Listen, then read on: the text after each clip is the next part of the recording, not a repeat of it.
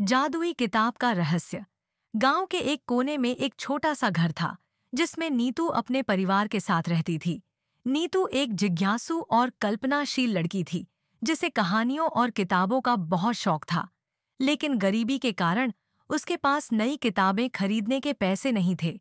एक दिन, जब वह अपने पुराने और धूल भरे पुस्तकालय में किताबें ढूंढ रही थी, उसे एक अजीब सी पुरानी किताब मिली जिस पर सोने के अक्षरों से लिखा था, जादुई किताब जो होश उड़ा दे।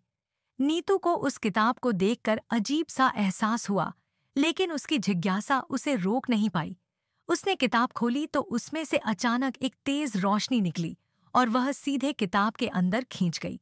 जब नीतू ने अपनी आँखें खोली तो वह खुद को एक अलग ही दुनिया में पाया। वहाँ पेड़ बोल रहे थे, जानवर बातें कर रहे थे और आसमान में अजीब रंगों की बारिश हो रही थी। यह सब देखकर नीतू के होश उड़ गए।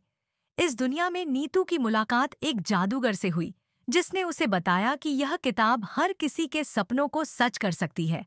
लेकिन इसके साथ एक शर्त थी, जो भी इस दुनिया में आएगा, उसे एक परीक्षा से गुजरना होगा। नीतू को यह जानकर थोड़ा डर लगा, लेकिन उसने हिम्मत नहीं हारी। जादूगर ने उसे तीन कठिन सवाल पूछे। पहले सवाल में नीतू को खुद की सबसे बड़ी कमज़ोरी को पहचानना था। दूसरे सवाल में उसे अपने दिल की सबसे बड़ी चाहत बतानी थी और तीसरे सवाल में उसे किसी और के लिए कुछ त्याग करने को कहा गया।